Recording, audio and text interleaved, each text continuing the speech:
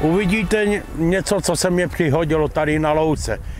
To je jenom začátek, pak bude druhá část. No a když jsem opravdu, když jsem šel domů už, s Betinkou, to je můj pes, no, tak jsem prostě si všimnul krásně veliký měsíc. Tam přesně, přesně byl ten měsíc, přesně, směrem k mýmu domu.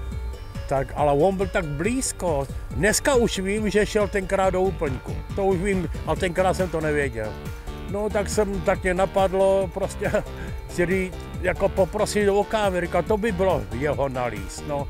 Jako Ona se to nabízela, on byl opravdu hledán kameny magneticky a najednou si všiml krásně velkého měsíce. To se nestává pokaždý, že takhle krásně měsíc a blízko.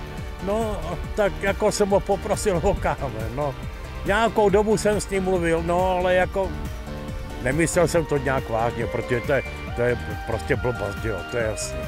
No, ale co se mi, co se mě stalo za čtyři dny v lese, na Olšině, No, tak to, to, je, to, je, to je unikátní. To je opravdu unikátní, to se ještě nikomu na světě nestalo. To klidně můžu říct.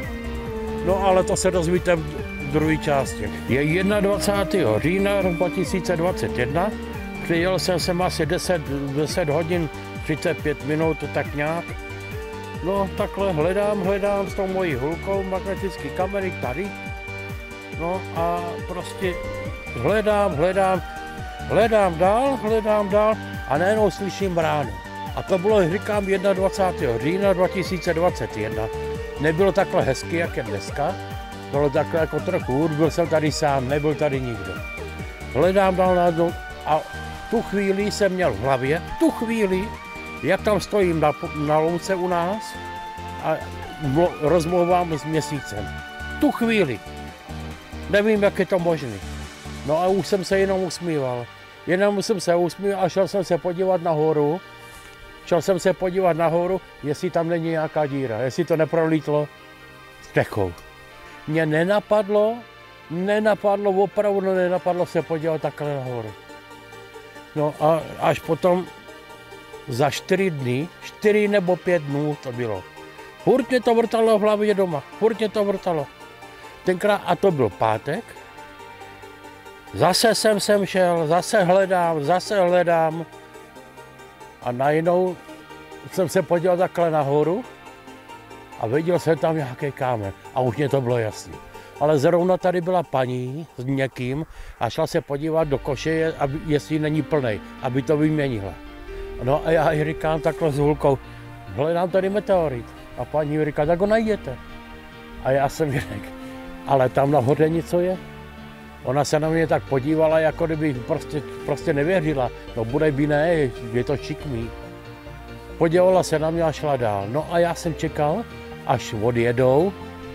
A když odjížděli, tak tady jsem šel sem a tady jsem si uříznul, uříznul velkou větev. No a tou větve jsem meteory, ten kámen, já jsem nevěděl, co to je zač. Jsem osundával. No prostě Takhle jsem osundal, až to spadlo sem. A když jsem ho vzal do ruky, tak jsem věděl jsem, prostě věděl jsem, že to je meteorit a že to není nic obyčejného. Když to říkám ostatním, tak každý někdo, někdo tomu věří, někdo tomu nevěří.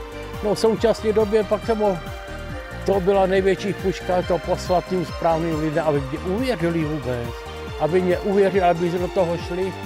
Nikdo vám nevěří. To je nejhorší, domů, jako přesvědčit někoho, aby vám věřil, aby do toho šli.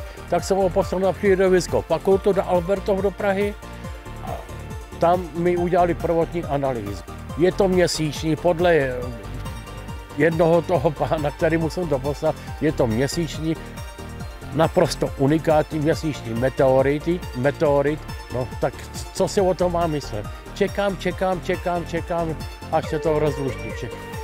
Je to tohle. Jo, to je ono. Já tomu říkám kachno husa, ne, protože ta struktura je prostě hlava husy anebo kachny. Má to zobák, má to oko, má to všechno, no. Přesně tady. Asi v prostředku. No čekám, čekám. On, on říkal za prvé, naprosto unikátní měsíční meteorit, ale vím, že dva roky jako je to jako takový běžný. V listopadu to bude dva roky. No. Než oni to zvedají, tak musí vědět o tom úplně všechno. A oni dokážou spočítat, jak dlouho to tam letělo. Jak dlouho? Víš, co to je, jak milion, dva miliony let. Byl jsem tady sám, ale nejvíc mě mrzí, nejvíc mě mrzí ze všeho nejvíc, že jsem si to nenafotil, jak tam byl. Já byl, ale když jsem ho objevil tam, tak jsem byl úplně mimo. Já byl úplně rozechvělej.